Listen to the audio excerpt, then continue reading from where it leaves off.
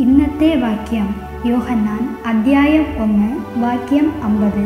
യേശു അവനോട് ഞാൻ നിന്നെ അത്തിയുടെ കീഴിൽ കണ്ടു എന്ന് നിന്നോട് പറകൊണ്ട് നീ വിശ്വസിക്കുന്നുവോ?